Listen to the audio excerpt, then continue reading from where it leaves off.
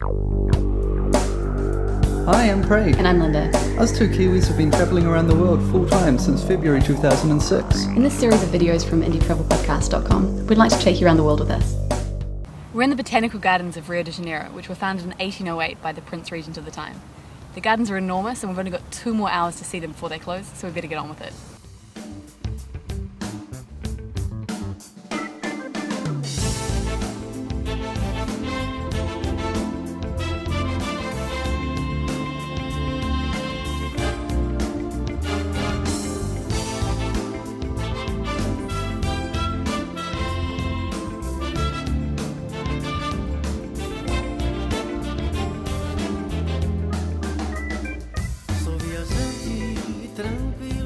Tranquilo a vagar Do norte ao sul eu posso lhe mostrar.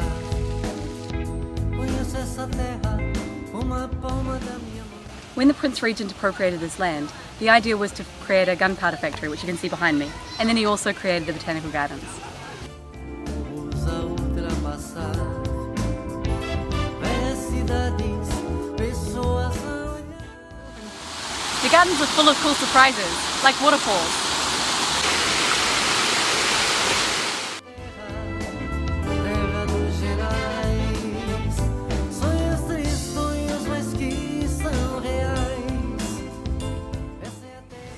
Rio's Botanical Gardens are a great place to get away from it all, away from the noise of the traffic, away from the noise of, I don't know, the beaches. but it's a really great place to spend an afternoon or, or a whole day. Unfortunately, it's now 5 o'clock and we're going to be kicked out, but you should definitely come. Passará a noite quando a lua for embora.